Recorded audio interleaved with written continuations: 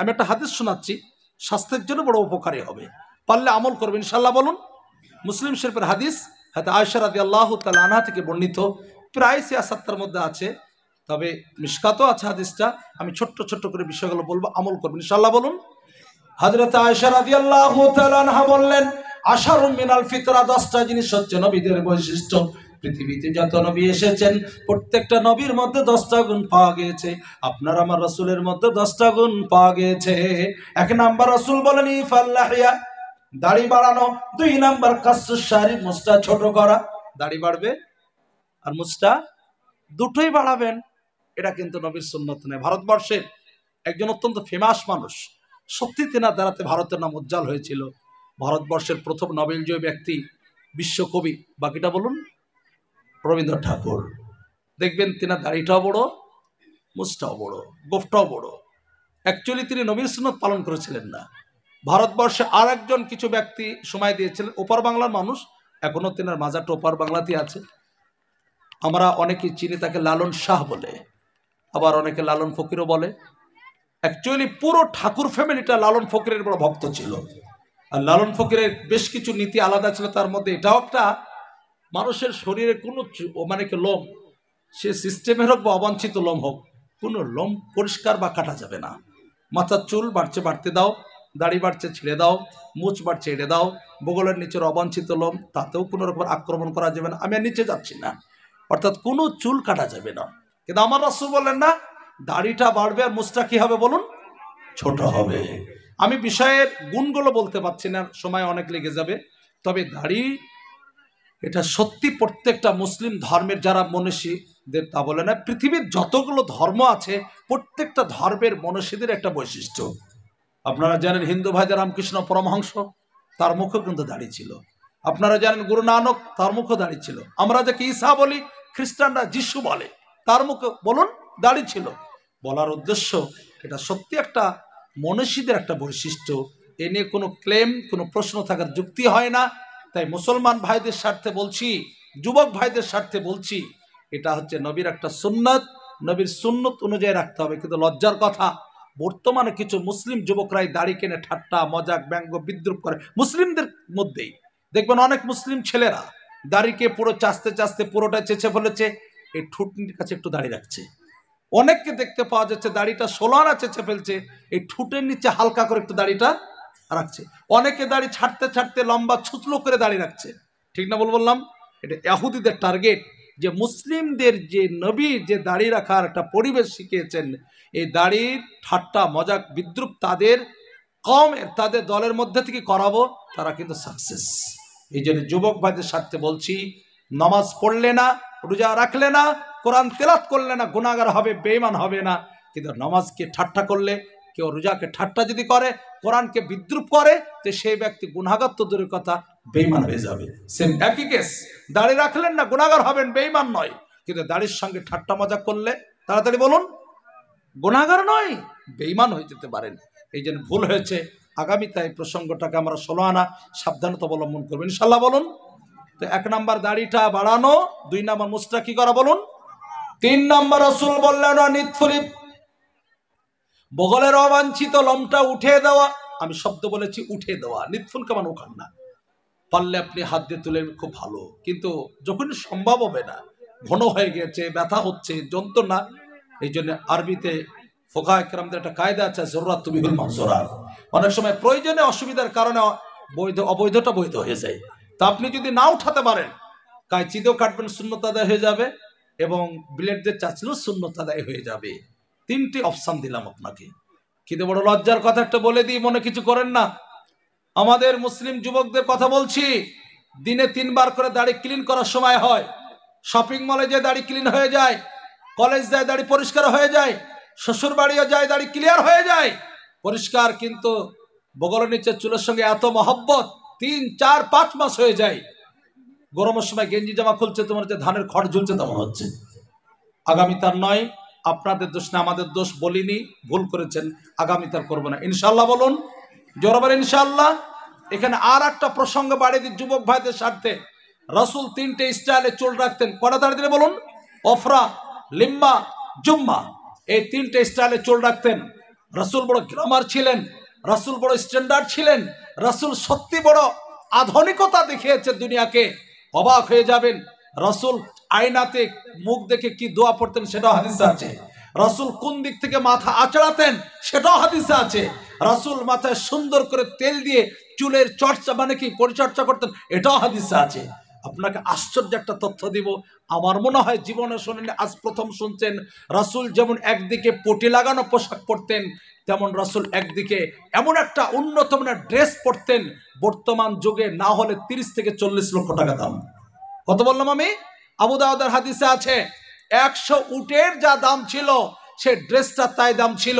যখন কোন অন্য দেশের রাষ্ট্রীয় নেতা আসতো, তখন তাদের সঙ্গে যখন রাসূল ভিট করতেন, ওই ড্রেসটা পরে রাসূল তখন সাক্ষাৎ করতেন।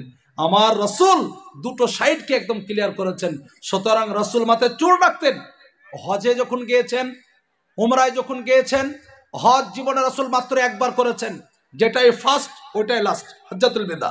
আর উমরা কেউ বলেছেন চার, কেউ বলেছে পাঁচ। সুলাহ হুদাইবিয়ার বস্তরের ওটাকে যদি ধরেন তাহলে পাঁচ, আর ওটাকে ছেড়ে দিলে কয় হবে বলুন?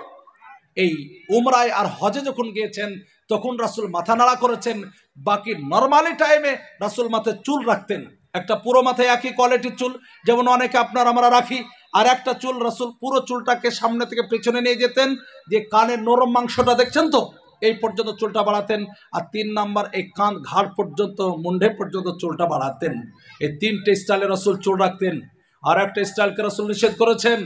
বড় কষ্টের সঙ্গে বলছি, যুবক ভাইদের স্বার্থে, বড় দুঃখের সঙ্গে বলছি, রসুল আবুদাউদের হাদিস, নাহান নবী সাসলাম আনিল কাজঈ কাজ মাথার কিছু চুল ছোট হবে আর কিছু চুল হনুমান বাদর মতো ঝুলবে। যুবক ছেলেরা আজকে ফুটবলারদেরকে দেখে, ক্রিকেটারদেরকে দেখে কোনো বক্সিং প্লেয়ারদেরকে দেখে, কোনো অন্য সেলিব্রিটিদেরকে দেখে, এই কাটিংটাকে চয়েস করেছে হতভাগা, কপাল পোড়া মুসলমান। তুমি রাসুলের সুন্নতটাকে প্রাধান্য দিতে পারলে না, যেটা রাসুল নিষেধ করল, সেইটাকে তুমি প্রাধান্য দিলে তোমার থেকে হতভাগা পৃথিবীতে আর কেউ নেই। রাসুল বলেছেন, মান আহাব্বা সুন্নাতি আহাব্বানি ওমান আহাব্বানি কানা মাইফিল জান্নাহ। যে আমার সুন্নতকে প্রাধান্য দিল সে আমাকে ভালোবাসলো। আর আমাকে যে ভালোবাসলো, সে আমার সঙ্গে কোথায় থাকবে বলুন? জান্নাতে থাকবে। সুতরাং যুবক ভাই, আল্লাহর কসম বলছি, তোমাদের দোষ নেই, তোমাদের ত্রুটি নেই, তোমাদের ঘাটতি নেই, আমাদের দোষ। আমরা আব্দুল কাদের জেলারের ঘটনা বলে তিন ঘণ্টা তোমাদের সময় নষ্ট করেছি। চুল কি করে রাখতে হয়? এটা যে হাদিসে আছে, তোমাদেরকে বলিনি। কি করে মুছ রাখতে হয় গোফ, তা শোনাতে পারেনি। বগলের অবাঞ্ছিত লমের কি হুকুম, তোমাদের শোনাতে পারেনি। আমরা কয়েকটা সুন্নত আপনাদেরকে দিয়েছি, সুরমা লাগানো, আতর লাগানো আর হালুয়া রুটি খাওয়া। এ কটাই শুধু দেশে চালু আছে, বাকি হাদিসের কাগজে পৃষ্ঠায় রয়ে আছে।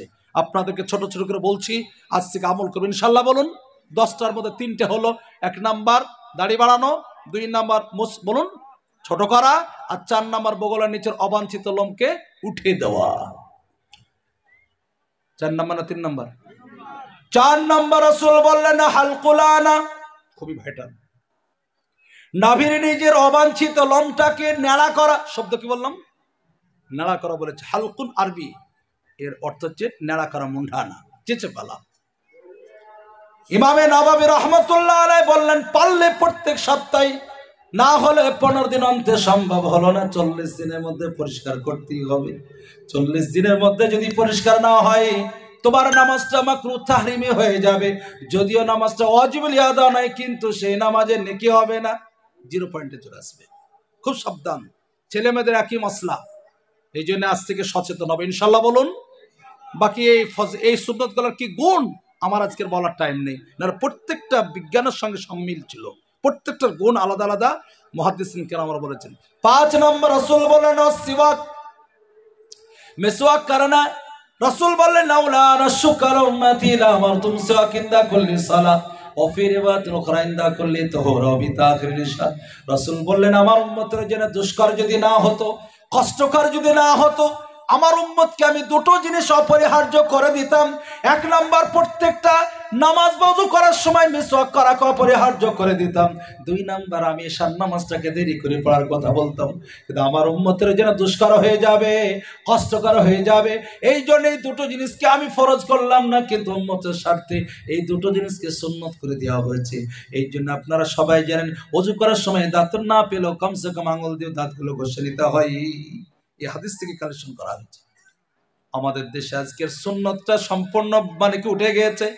আজকের মানুষ শুধু কলগেট ব্রাশে সীমিত, দাঁতনের কোনো গুরুত্ব দেয় না। ঠিক না ভুল বললাম? একটু হালকা করে এইটা আমাকে বলতে হবে। অজাই কোম্পানির একটা পঞ্চাশ টাকাতে বিরাজ কিনলেন, অজান্তা কোম্পানির সত্তর টাকা দিয়ে একটা বিরাজ কিনলেন। এক নয়, দুই মাস, তিন মাস ধরে আপনি বিরাজটা করলেন। তিন মাস পর বিরাজটা একটু মাফ করে দেখবেন ছোট হয়ে গিয়েছে নাকি? বিরাজ ছোট হয়। কখনো ছোট হবে না। খুব বেশি হলে বিরাসের শুষাগুলো একটু বেঁকিয়ে যেতে পারে। আর দাঁতন আপনি মাত্র এক বিগ সাইজের একটা দাঁতন কাটলেন। বেশি নাই, পনেরো দিন দাঁতনটা ব্যবহার করবেন। পনেরো দিন পর দাঁতনটা মাফ করে দেখবেন। দাঁতন আপনার ছোট হয়েছে কি হয়নি বলুন। বুঝলেন, যত বেশি দাঁতন করবেন, আপনার দাঁতটা দুর্বল হবে না, ক্ষয় হবে না, বরং দাঁতনটা ছোট হবে। আর বিরাস যত বেশি করবেন, বিরাস আপনার দুর্বল হবে না, ক্ষয় হবে না। বরং আপনার দাঁতগুলোই দুর্বল হয়ে যাবে, ক্ষয় হয়ে যাবে। আশি বছরের প্রবীণ মানুষ বত্রিশটা দাঁত তার কংক্রিট মজবুত হয়ে আছে। আর মাত্র আঠারো বছরের ছেলে, বলে হুজুর দুটো দাঁত উঠে গেছে একটা আর সিটি আর একটা রিপিট করা আছে। আর দুটো ওয়েটিং আছে, কখন উঠবে তার কোনো গ্যারান্টি পেস্টের অবদান। বিরাসের অবদান। আমি নিষেধ করলাম না, দু একবার করলেন, করবেন। কিন্তু রসুলের গুরুত্বপূর্ণ সুন্নত মেসওয়াকটাকে প্রাধান্য দেব। আজ থেকে সকলে বলুন, ইনশাআল্লাহ। কটা হলো? পাঁচটা হবে। ছয় নম্বর রসুল বললেন নখগুলো ছোট করা নখগুলো কিন্তু বড় লজ্জার কথা, নখ ছোট তো দূরের কথা।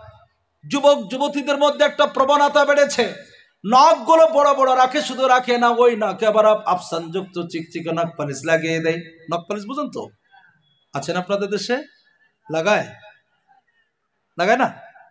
কিন্তু বড় লজ্জার কথা, নখ পালিশ লাগিয়েছ, কেয়ামতের দিন আল্লাহর দরবারে প্রথম অবস্থায় তুমি জান্নাতে যেতে পারবে না। রসুল বললেন ও মিফতাহুল জান্নাত সালাত। নামাজের চাবি হচ্ছে ওযু আর জান্নাতের চাবি হচ্ছে নামাজ। নখপালিশ যদি থাকে, পানি পুষ করবে না। আর পানি পুষ না করলে ওযু হবে না। ওযু না হলে নিঃসন্দেহে নামাজ হবে না।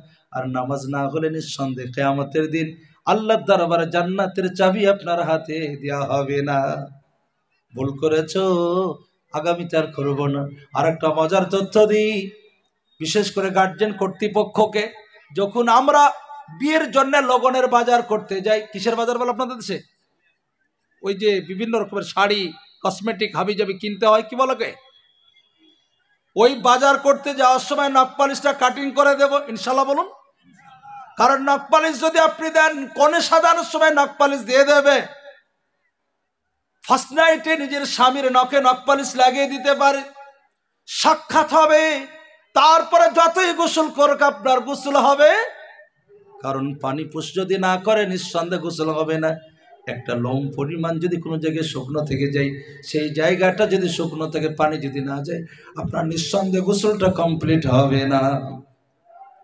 এই জন্য অনুরোধ করছি, যদি স্বামী স্ত্রীর সাক্ষাৎ হয়, নখ পালিশ যদি থাকে, নিঃসন্দেহে গোসল হবে না। আর গোসল যদি না হয়, অপবিত্র অবস্থা থাকবে। আর যে বাড়িতে তিন প্রকারের বস্তু থাকে, রাসুল বলেছেন, আল্লাহর পক্ষ থেকে রহমতের ফেরেস্তা আসে না। কিসের ফেরেস্তা আমি ফেরেস্তা আসে না তা বলিনি। তখন অনেক মানুষ ভাববে, তাহলে ফেরেস্তা আসে না, ভালোই হবে। আজরাইল আসবে না, আমার মরণ হবে না। তাই ভাবছে আবার রহমতের ফেরস্তা বলেছি। কটা বিষয় থাকলে বললাম? দুটো হাদিস, তিরমিজির হাদিস। রাসূল বললেন, লা তাদখুলুল মালায়েকাতু বাইতান ফীহি কলবুন ওয়ালা সূরাতুন ওয়ালা জুনুবুন আও কামা ক্বালা আলাইহিস সালাতু তাসলিম। যে বাড়িতে তিন প্রকারের বস্ত্র থাকবে, রহমতের ফেরেশতা আসবে না। এক নাম্বার বাড়িতে যদি রাসূল বললেন, কোন জীবজন্তুর আকৃতি, মূর্তি, ফটো থাকবে, সেই বাড়িতে আল্লাহর পক্ষ থেকে রহমতের ফেরেশতা আসবে না। যুবক ভাইদের স্বার্থে বলছি, সিনেমা দেখতে দেখতে নায়ক নায়িকাদের বড় ভক্ত হয়ে যাও।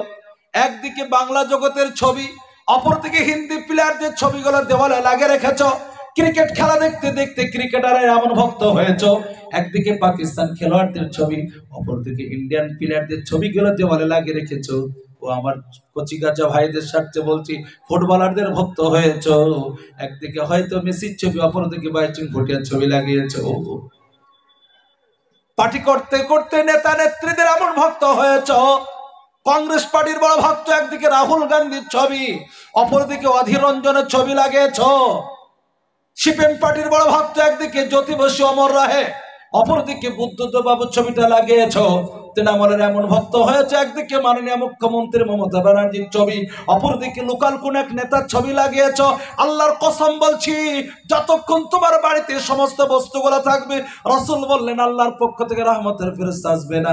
ভুল করেছ। আগামীতে আর করব না। ওই ছবিগুলো রাখলে যে আলাদা কোনো ভাতা চালু হয়, তাও কিন্তু হয় না। হয় নাকি? কেন রাসুলের সুন্নতের খেলাপ চলবো আমরা প্রয়োজন, শরীয়ত অনুমতি দিয়েছে। আইডেন্টি কার্ড করবেন পাসপোর্ট করবেন, জমি জায়গা রেজিস্ট্রি হবে, ছবি তুলেন, আলাদা কথা। কিন্তু বিনা প্রয়োজনে ইসলাম অনুমতি দেয়নি। আজ থেকে করবেন ইনশাল্লাহ বলুন। দুই নম্বর রাসূল বলেন লা তাদখুলুল মালাইকাতু বাইতান ফীহি বাড়িতে কুকুর, পোষার অভ্যস্ত হয়েছ। রাসূল বললেন, তিনটে স্বার্থে যদি কেউ কুকুর রাখা, অনুমতি আছে।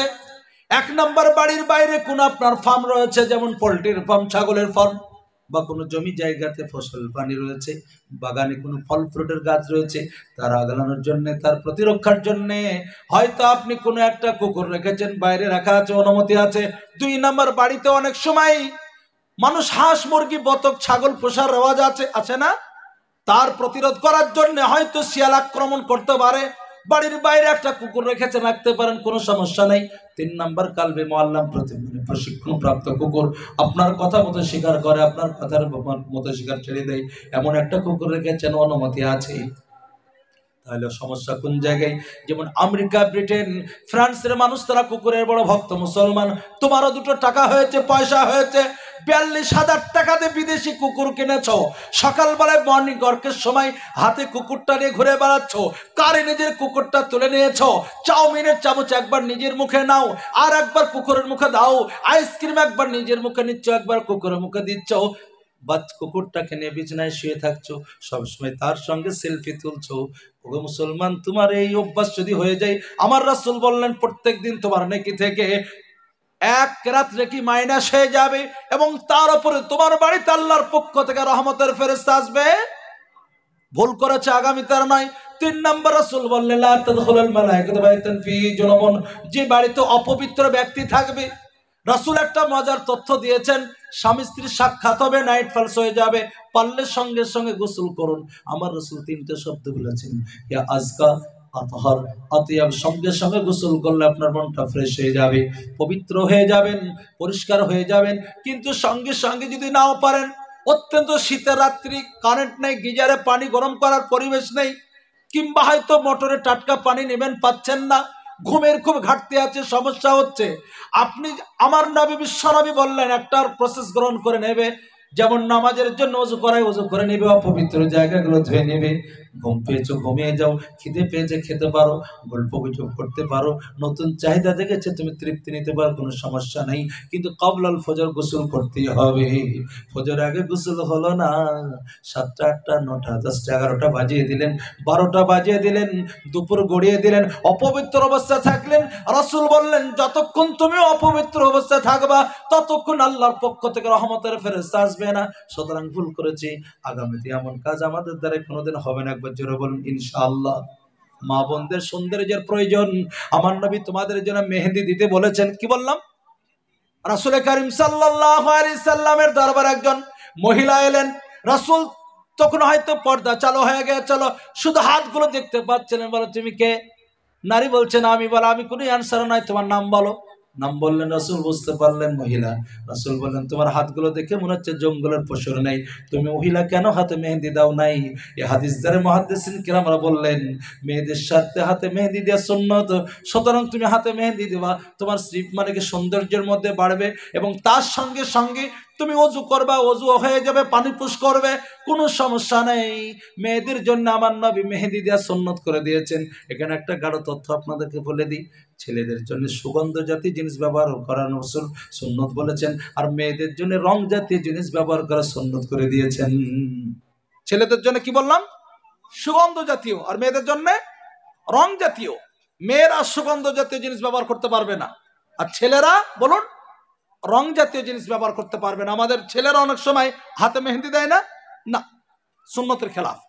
হ্যাঁ দাড়িতে রাসুলের সাহাবিরা মেহেন্দি দিয়েছে, খিতমি কালার দিয়েছেন, অন্য কালার করেছেন, খয়রি কালার করেছেন। রাসুল বলেছেন, তোমার চুল বা দাড়ি যে কোনো খিজাব করতে পারো, ইল্লা সাওয়াদ। শুধুমাত্র কালো খিজাবটা চলবে না। রাসুল বলেছেন ইসলাম সাওয়াদ, কালো খিজাব থেকে বেঁচে থাকো। আবু দাউদের রওয়ায়ত কেউ যদি কালো খিজাব করে, রাসুল বলেছেন, সে জান্নাত তো দূর কথা, জান্নাতের সুগন্ধটুকু পাবে না। কি বললাম, বুঝতে পারছেন? আপনার ব্রেনের প্রশ্ন হবে। হচ্ছে সমস্ত কালার অনুমতি দিচ্ছেন। খয়েরি বলছেন, মেহেন্দি কালার করা হবে, লাল করা হবে, সবুজ করা হবে, সবই করা হবে কালোটা কেন হবে না। আসলে রসুলের একটা হাদিস আছে মনগাসা ফালে জামিন্না যে ধোকা দেয় সে প্রকৃত আমাদের উন্মত নয়, আমার উন্মত নয় অ্যাকচুয়ালি সাদার ওপরে কালো ছাড়া যে কোনো কালার দেবেন, সবাই বুঝে যাবে এর সাদা হয়ে গেছে, অন্য হয়তো কালার করেছে। আর কালো যদি কালার করেন, তো মানুষকে ধোকা দেওয়া হচ্ছে ভাবছে আমার এখনও কিচ্ছু কাল, সাদা হয়নি পাকেনি আমি পুরো ইয়াং হয়ে আছি। ধোকা দিচ্ছে মানুষকে। এই জন্য হাদিস আছে, মান গাছাফ না যে ধোকা দেয় সে আমার প্রকৃত মত নয়। আমি বলতে চাইছিলাম, বাবা আপনি দাড়ির দাড়িটা খিজাব করতে পারেন, কিন্তু হাতে, পায়ে ছেলেদের মেহেন্দি দিয়ে জায়জ নেই। আর মেয়েরা ভালো পারফিউম লাগাবে, সুগন্ধ জাতীয় জিনিস লাগাবে, এটা জায়জ নেই। ওরা হাতে কালার জাতীয়, পায়ে কালার জাতীয় কোনো জিনিস দিতে পারে, কোনো সমস্যা নেই। আমি বলতে চাইছিলাম, মা বোনদের স্বার্থে যে বিশেষ করে নখ পালিশ ছেলেরাও এরা যেন আগামীতে ব্যবহার না করে। ইনশাল্লাহ বলুন, কচি অবস্থা থেকে পরিবেশটা আমরা দূর করব। কটা হলো? বলছেন না ছটা? কটা? সাত নাম্বার রসুল বললেন অলমাস বাজামিল মা পানি সে কুল্লি কারনা। আট নাম্বার রসুল বললেন অল খিতান খাতনা দে না মুসলমানি দেওয়া। এত দামি সুন্নত অন্য সম্প্রদায়ের মানুষ চুরি করে শুরু করেছে। নয় নাম্বার রসুল বললেন ও ইস্তিনসা কুলমা আইল ইস্তিনজা বিল মা। তিনটে নিয়ম, একটা হচ্ছে শুধুমাত্র ঢেলা, আর একটা হচ্ছে শুধু পানি। আর একটা সব থেকে ভালো, পানির সঙ্গে ঢেলাটাও বলুন, ব্যবহার করা। এটা সব থেকে ভালো। আর দশ নম্বর রসুল বলেছেন, ও গাসুল বরাজিম ধোনা হাঁটুর তলা উরুর মিডিল, বগলের তলা গরমের সময় ঘেমে যায়। রসুল বলেন, গুরুত্ব সহকারে ধুতে এই দশটা হচ্ছে নবীর সুন্নত। আমি হেডলাইন্স আকারে বললাম, বিস্তারিত কিছু বললাম না। এই বিষয়গুলোর উপরে এক দু ঘণ্টা আলোচনা করা যায়। আমি ছোট